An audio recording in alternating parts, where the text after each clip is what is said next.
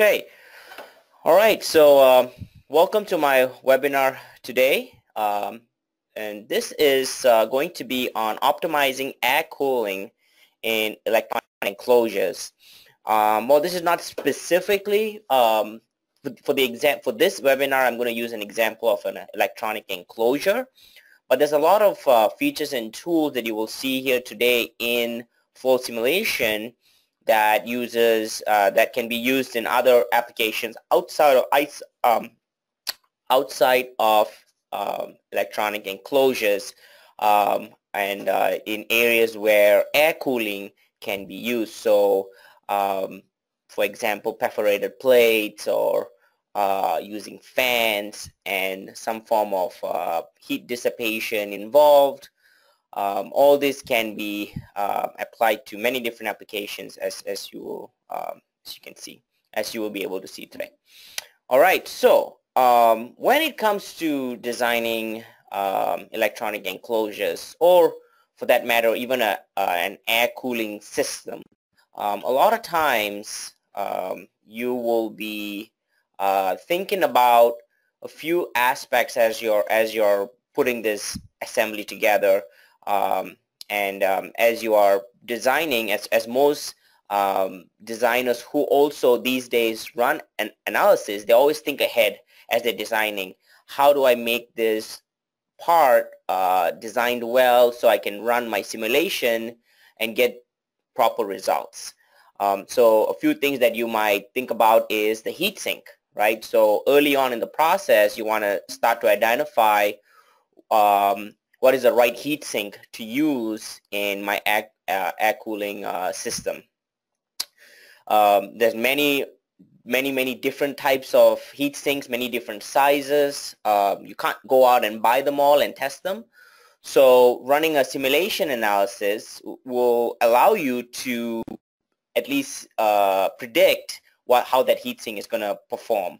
Um, uh, another aspect is air convection, right? So there's going to be all these different components that are dissipating heat uh, in your in your system, um, and you need to be able to see how that uh, heat is affecting the ambient temperature, which can cause uh, your entire system temperature to go up. Now, a lot of times, especially in, in components like a compact electronic enclosures, they have a very limited operating uh, uh, temperature uh, range.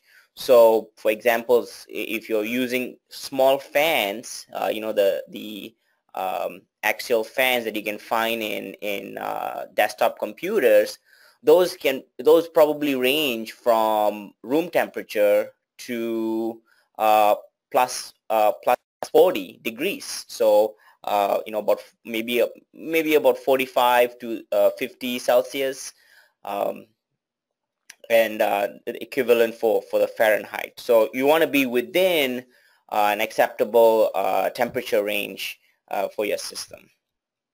Then obviously you have conduction, right? So that's where your heat sink comes into play because the heat sink is pulling the heat out of the chip that it's sitting on um, and in addition to that, you might have all these different components in your in your system that is touching. Uh, so solid components that are touching each other that could be conducting um, heat. Uh, so we need to ensure that we're not transferring too much heat to areas that, that we want to avoid high, high temperature.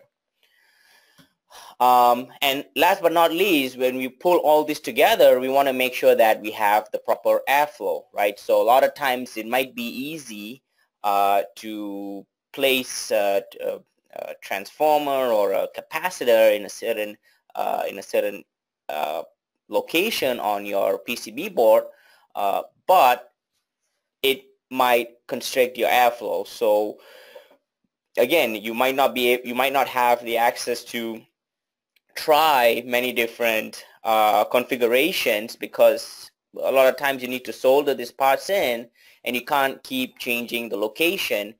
Running it in flow simulation uh, allows you to test different locations for your capacitors and um, you know uh, transformers, uh, even your fan location. All can be moved and see how the how the air is flowing to ensure that we are having maximum airflow through your heat sinks, which is typically going to be the higher higher temperature area in your in your system. All right. So uh, for today's example, uh, we are going to look at an, an electronic enclosure, um, and the analysis parameters are as follows. Uh, for this system, there is uh, heat being dissipated from uh, our capacitors, our transformers, and the chips underneath uh, the heat sinks here. Um, it has to be air cooled, so a lot of times systems like this, we can't use water cooling just because if there's a leak, it will cause a, a lot of issues, right? I mean, it will probably burn, burn the, the chip. Um, we know that this is going to be in room temperature. Sometimes you might be in an environment where the temperature might be higher or lower. Uh, if it's lower, it's, it's to your advantage because it helps with the cooling. If it's higher, then you need to uh, ensure that uh, the direction that the air is flowing uh, is, is the right direction. Sometimes, um, uh, for, well, for this example, our fan is pulling the air in there's going to be instances where you need your air, your fan to be blowing air out. So again, these are the types of things that you can run in flow simulation. So you can even change the fan direction. Um, and the third uh, parameter that we know uh, in this analysis is the heat sources, and that's based on efficiency. So a lot of times um, you might get a chip um, and it says it's uh, running at 100 and it's it's 120 watt chip um, and it has 80% efficiency or uh, just to keep it simple, um, it's a 100 watt chip at 80% um, efficiency. That would mean that it's dissipating 20 watts of heat. Um, so that's that's really how we how we are how we are applying it in flow simulation. Uh, in our example here, um, we are going to assume that it is at 90% efficiency so we are dissipating about 10 watts each uh, from the chip. Um, and what we need to find from this analysis, we need to uh, find the best airflow um, depending on location uh, of your fan. Uh, sometimes, you know, it might, it might be easy to say, well, you know, if I don't have a good flow, I'm just going to keep adding fans to my system. Well, uh, there's going to be instances where you have noise uh, criteria where, you know, you, you can't be above a certain amount of decibel. In cases like that, uh, you can't simply just add uh, X number of fans. You need to minimize the number of fans. Maybe you can only use one or two at the maximum to keep the sound low enough. Um, and depending on how you place the fan, you can get the best airflow over your heatsink. Um, you can also test different heat sinks. Uh, so there's many different types of heat sinks. So this has, uh, oops. So these has a configuration of the fins are going um, um, in uh, this kind of horizontal direction. Um, you can have the fins going in the opposite direction. Um, you can have uh, heat sinks which uh, which are not even using fins like this. They are more like uh, pins. Uh, so which we'll, we'll look at in, in this example today. And last but not least, uh, we want to also we want to be also be able to test multi-unit heat dissipation. So um, a lot of times, uh, you know, running the analysis for one unit gives you uh, the insight to that single unit while you can say well you know I have very good uh, cooling in this system uh, but maybe I'm right around that that maximum number uh, and now you're causing some convection between two units so you're stacking two of these units uh, one over the other and maybe you have just a slight gap between those. Uh, maybe there's just a, some rubber padding uh, uh, or rubber stand.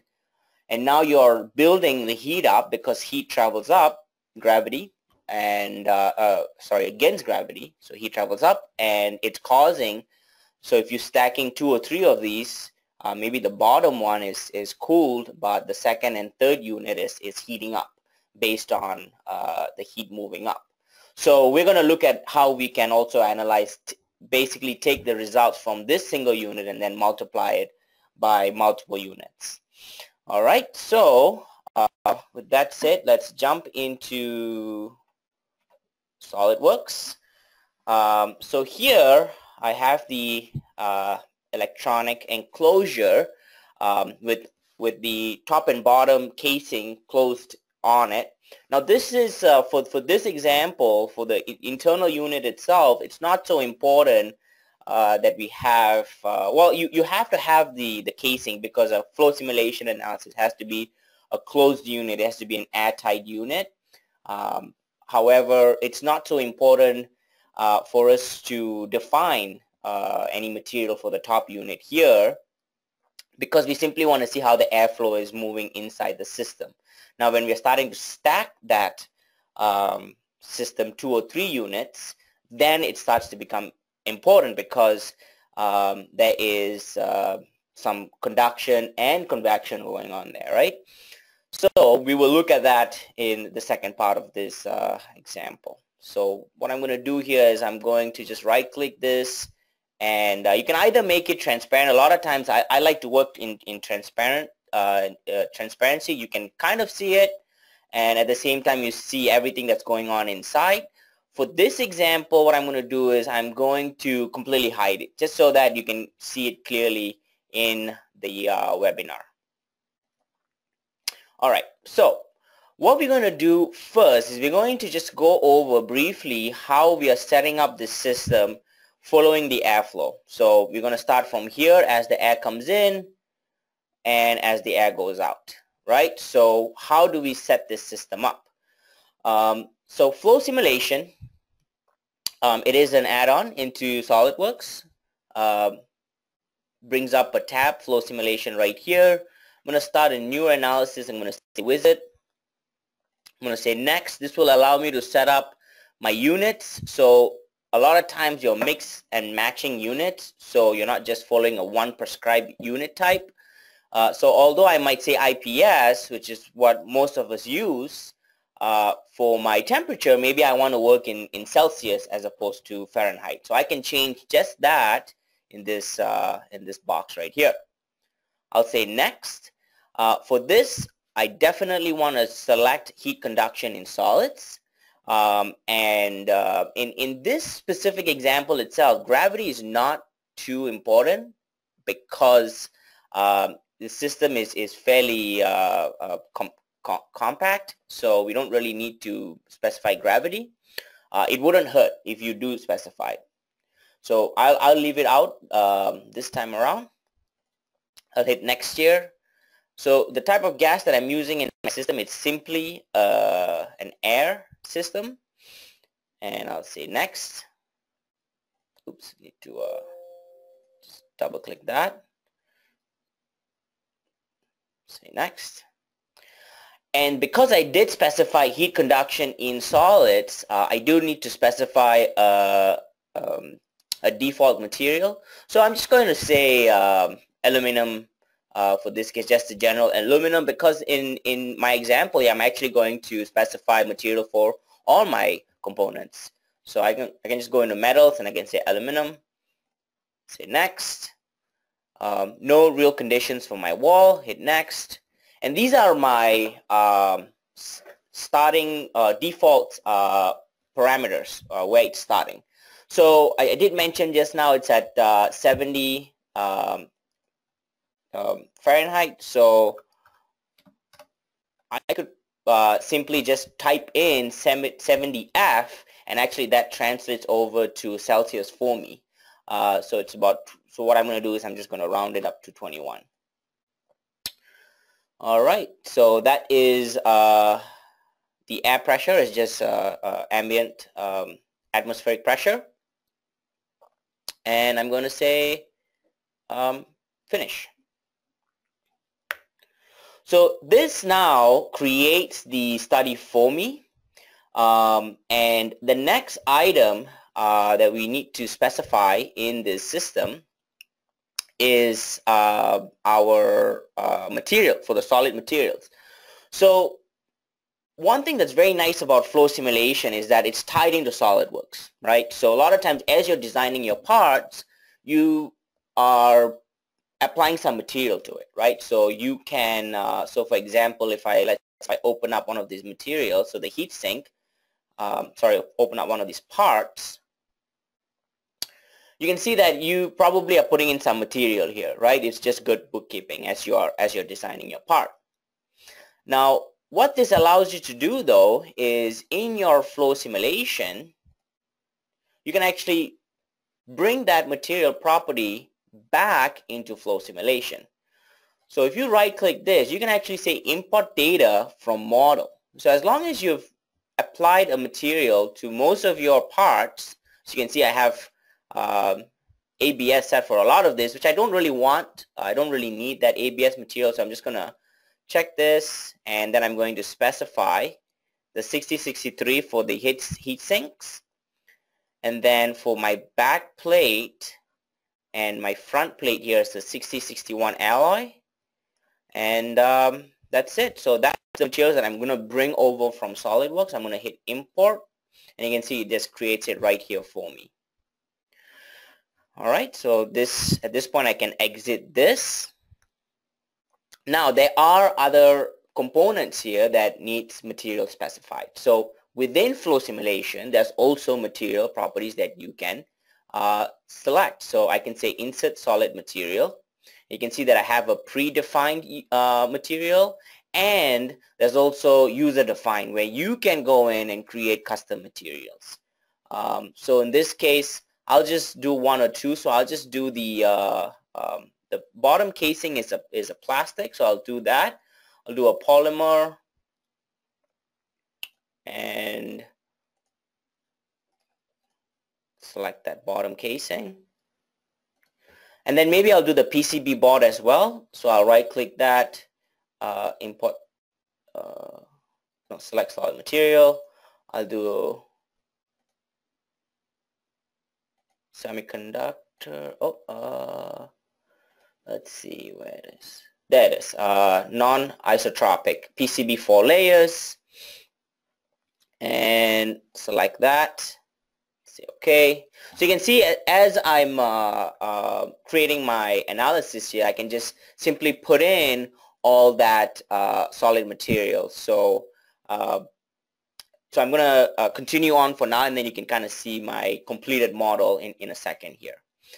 So the next thing we need to uh, create uh, in this flow simulation analysis is our boundary conditions, right? So inlet and outlet, that's the basic idea here. Um, so for our inlet, um, the air is being sucked in by the fan. So it's coming in from this uh, cutout holes right here.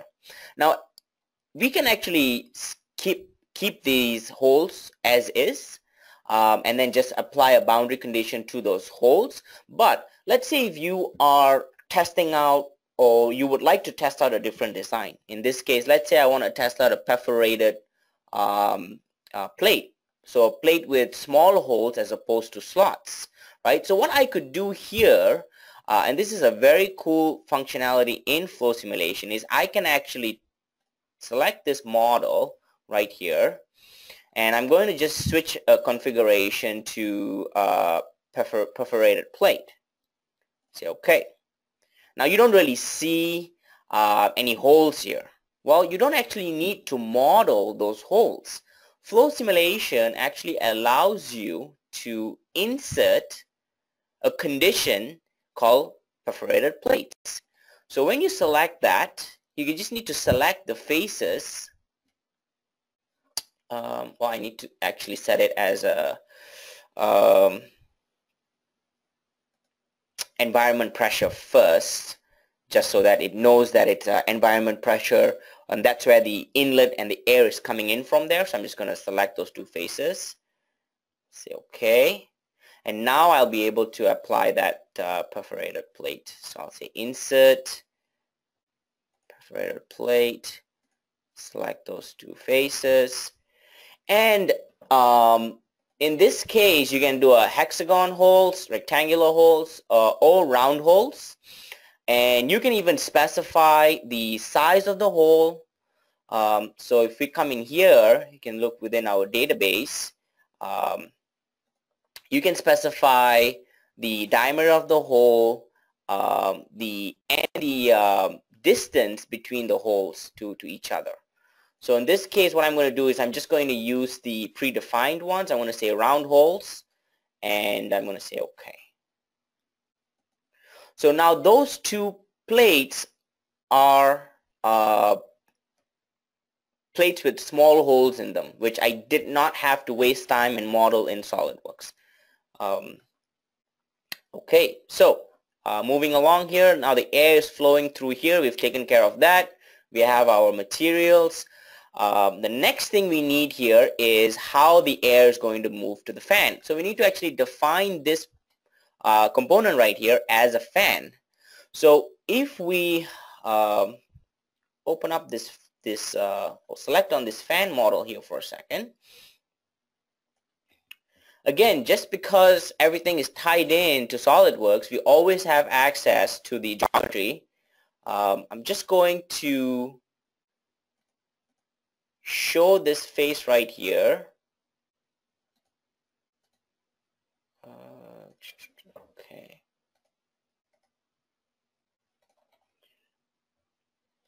So I can uh, create um, my fan condition. is actually a lid. So this is the condition right here. I'll show that component. So you can see that it's just a, a, a component that sits there uh, like a round plate that basically turns the the system into an airtight system. So um, I'll say insert, uh, sorry, tools, flow simulation, insert right here, and I have my fan uh, tool. So I select my fan, and we have three different types of fan that you can apply. So any any type of fan that you can think of in your system, we can create in this flow simulation. So uh, the three types of fan is fan number one is it's pulling the air into the fan. Um, that is called external outlet fan. The second uh, condition we have is the fan is blowing uh, the air. So it's sucking the air from outside and blowing it into your system. That's called external inlet fan.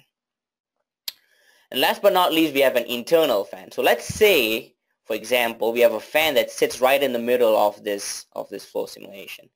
In that case, you can actually apply internal fan, and not only you would specify where the fan, uh, where the air leaves the fan, it'll also uh, can, you can also create a condition where the fan, where the air uh, comes into the fan. So a lot of times a fan design will have some some cutout shapes in the back so it, it will actually take into account all that geometry to show you how the air is being restricted into that fan as it comes out. Quite a bit that you can do here. So in this case, external outlet fan, I'm selecting that, uh, that disk. So that's the area where the air is flowing through the fan. And then you can specify your fan. So um, just like everything else in flow simulation, you can either do a predefined. So we have quite a bit of fans already in the system. Uh, I know Delta uh, is a very popular uh, fan type that uh, that's being used in the industry. Um, uh, Comair um, as well. So quite a bit right here. Uh, if you can fan, if you can find the fan type, great. If not, you can always create your own as well. Um, all you need is the fan curve, the, the CFM values uh, versus the air pressure, which most of these companies have ready for you. Um, I, I uh, build uh, user-defined fans quite a bit, so it's, it's very it's fairly easy to get that information. So in this case, I'm going to actually use a, a fan curve uh, DC axial fan 450 and I'll say okay. All right. So this basically uh, has uh, is the basic setup to be able to run my flow simulation analysis. So kind of let's kind of take a look at a more completed analysis and look at results and how we can populate those results uh, to our advantage. So let's take a look at uh, this configuration I have here.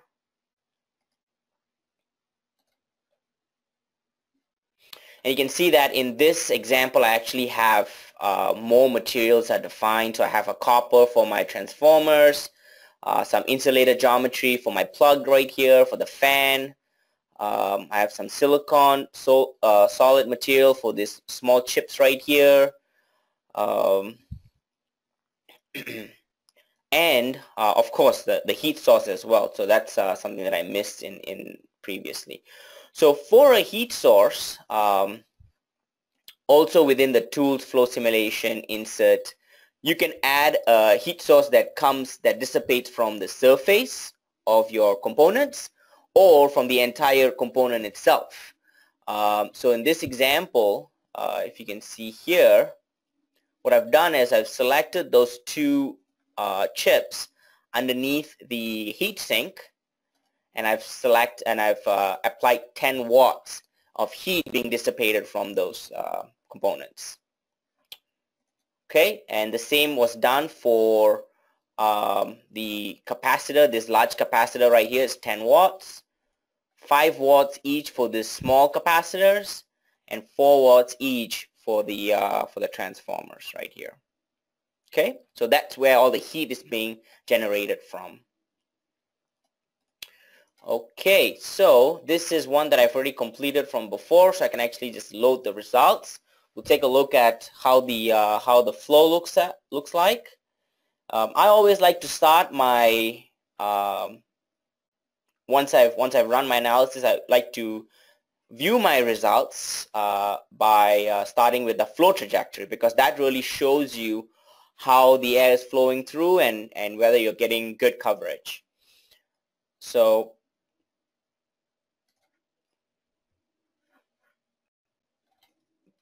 For this, I will select the uh, where the air comes in, spheres, say OK. This shows me a preview of how that air is going to look, uh, but nothing like uh, animation. So I hope this translates well onto your end. I will zoom in so you should be able to see this clearly.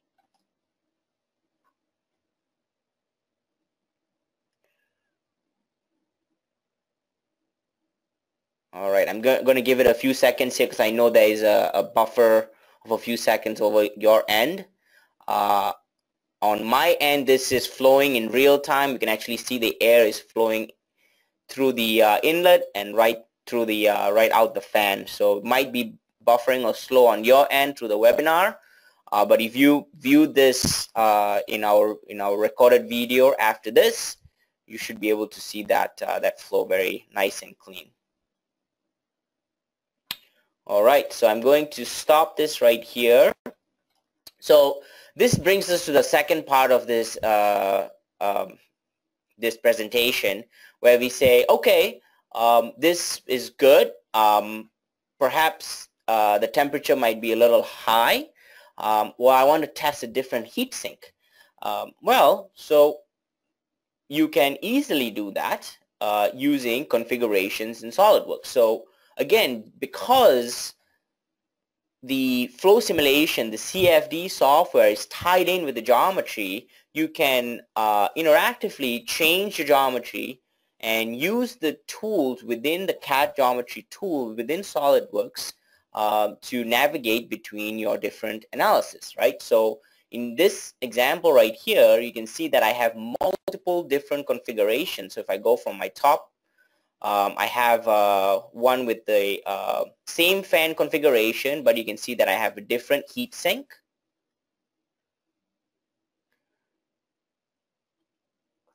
Give it a few seconds here.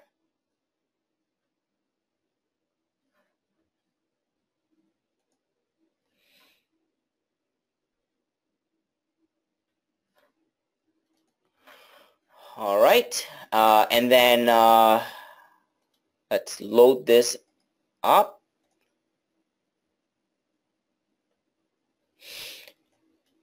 And let's look, view the uh, flow trajectory through this.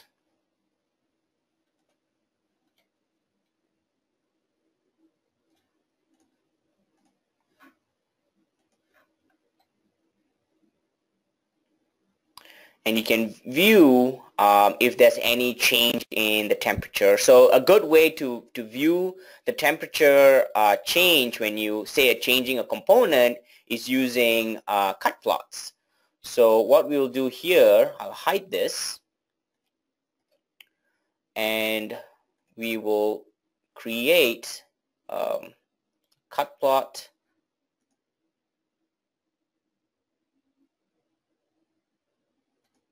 right here. And we can actually drag this cut plot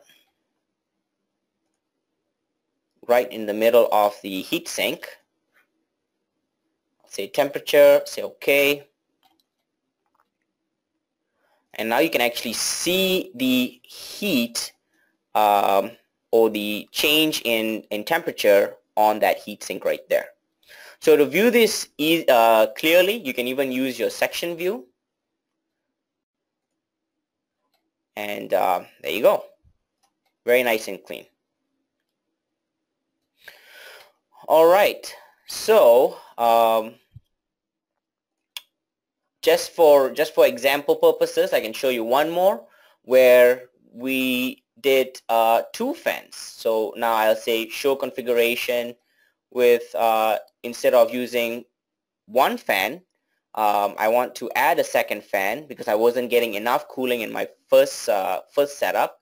So I did one fan and I tried two different types of heat sinks.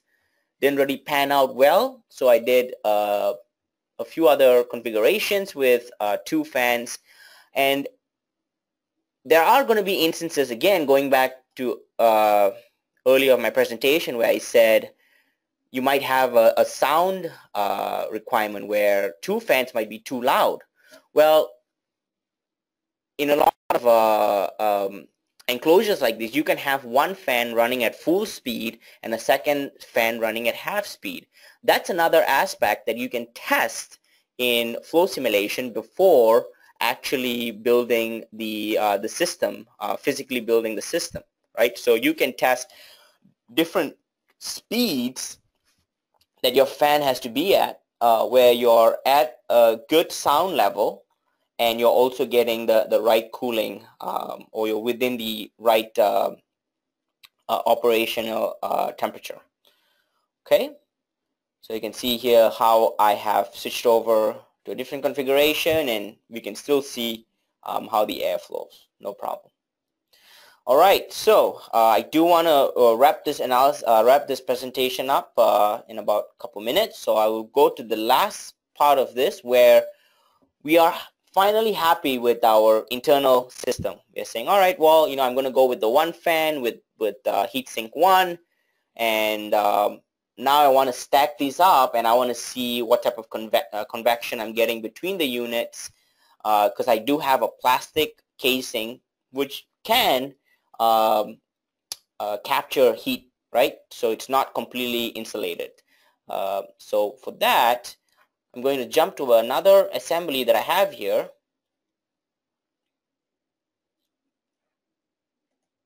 called stack. And you can see what I've done here is I've actually built uh, kind of a, a, a uh, an artificial uh, space or room and I've stacked up two systems and essentially it's the exact same analysis uh, however just using two systems and um, adding a box. And this is a kind of a hollow box. And I've created a environment condition on this hollow box. You can actually view it. So it looks like that where it is at uh, room, uh, uh, well, maybe the temperature is a little bit higher in this case. So in this example, I did set it to 75 Fahrenheit, uh, but the uh, uh, pressure is environment pressure. So basically, it's just sitting in in a, in a room that has a higher temperature. I have my heat generation as before, and now I've actually added um, plastic material to the top and bottom casing. So also have pre-ran this analysis and let's actually take a look at the results.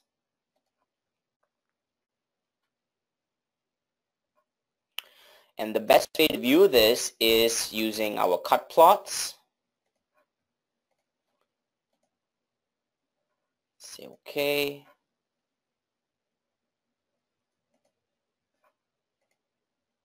And you can see right away that there is some heat growing, uh, some added heat between the spaces, uh, the space between the two units, right? So this right here is just air, but the air in between the two units is going up.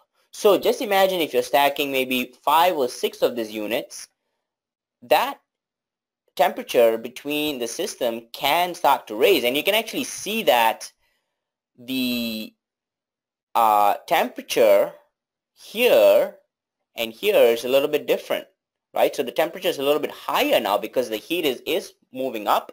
Uh, you can see in this analysis right here I did have gravity checked. So the temperature is moving up and um, now let's say if I have five of this stacked your unit 1 and unit 2 might be okay within uh, within the acceptable temperature range, but unit number 5 and 6 might not be so uh, um, uh, might not be in, in, in a proper uh, temperature um, operational range.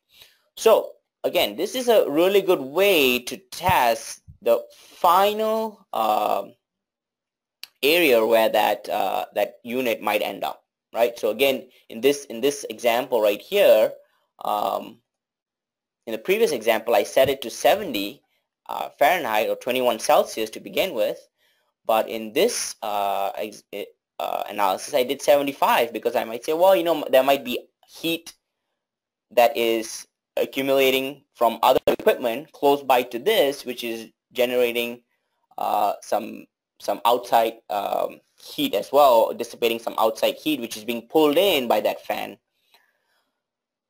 All right, so um, one last thing that I wanted to uh, share with you. One thing that's uh, very nice with uh, flow simulation is that um, this probably looks very familiar to you. This is the cross section of the single unit.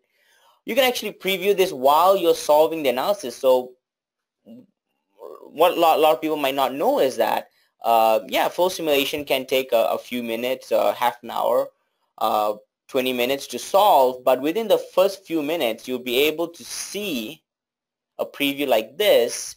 And a lot of times you can tell whether you're getting or you have set up the analysis correctly. So I just wanted to kind of throw this in there so you can see um, how the preview looks preview looks like. So in this case, it looks very realistic, right? Heat uh, being generated by those components and that's my heat sink cross section right there and this is the air uh, the air temperature all right so everything that you've seen here today is uh, within the flow simulation package of uh, SolidWorks uh, flow simulation um, there is an addition uh, additional package for electronic cooling which allows you to kind of take this uh, a step further with your, with your electronic cooling where you can do Joule heating, heating your pipes, even a PCB generator, um, and an extended database for your uh, fans and heat sinks, even for your material and, and printed circuit boards. All right, so that brings us to the end of uh, this webinar today. Uh, please feel free to uh, uh, email me, call, uh, and visit our website, of course. I'm just going to open up the floor to any questions. Um, let's see. Uh, so, okay, there's one question about the uh, about the video. Yes, so every webinar that we do, uh, we typically record. So uh, this webinar is being recorded right now and uh, it will be posted on our CADimensions YouTube website uh, typically within a day or, or, two days. So I would say within the end of this week, you should have the, the video, this video up on our YouTube website that you can find through our website at www.cadimensions.com. Uh, it's on the top right corner. It's a small YouTube icon. You click on that, brings you to our YouTube page uh, where, where you can view this and many other webinars that we have recorded in the past. All right, any other questions at this point? Okay, another question. Will this, uh... With the stacked example, was the entire model reanalyzed uh, from the single model? So, uh, great question. Uh, it can be done both ways. So, SolidWorks Flow Simulation does have a, uh, a, a tool called EFD zooming, where basically what it does is it takes your entire system, the results that you've gotten from your from your entire system, and you can zoom in on a certain area and rerun your analysis. So you can probably backtrack. So you can run a two or three stack analysis and then zoom in on a single on a single unit. Um, on the other way around, what I've actually done in this analysis is when I stacked two units, I actually reran the entire analysis because um, when you ran a single unit, the air outside of the unit was not considered, right? It was an internal unit. So only the air within the unit, the computational domain within the unit was considered.